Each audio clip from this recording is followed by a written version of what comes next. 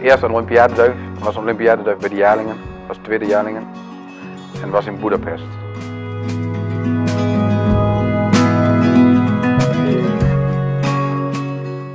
Uh, in 2013 uh, is Edwin begonnen op zijn nieuwe adres uh, met vliegen met de jonge duiven. En hadden we in 2014 het eerste succes met onze duivin Madison, die tweede jaarling werd van Nederland in de Olympiade in Budapest.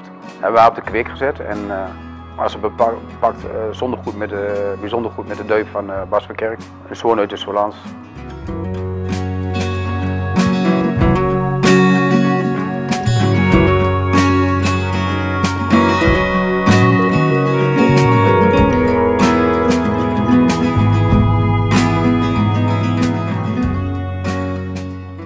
En daar komt dan uh, Madison 2.0 uit. Die twee man de eerste vloog en Madison 3.0, 4.0 en 5.0. Die allemaal goede nakomelingen geven.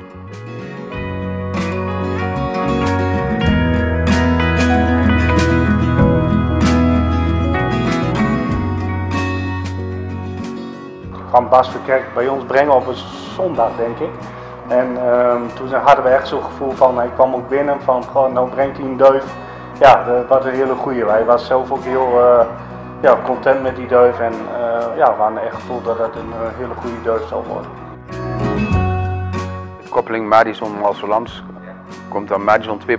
Dit is voor een eerste in de afdeling van Molecour tegen 7000, bijna 8000 duif. En in hetzelfde jaar woont ook de eerste NPO Chateaudun. Andere duif uit de koppeling van Madison met Solans is Madison 3.0.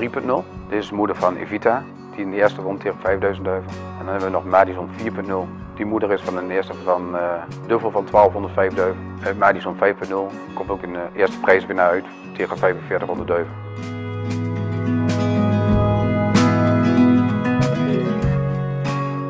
Nou, Maxima is een duivin van uh, 2015 die uh, de eerste allround titel van Nederland won. Echt een klein duivinnetje, die, een slimme duivin.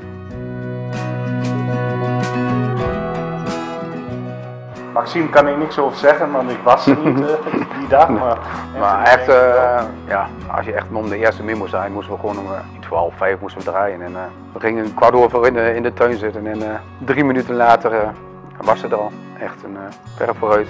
We speelden de eerste tegen bijna 14.000 duiven, denk ik. Ja, van oh, bijna 600 kilometer, denk ik. Ja.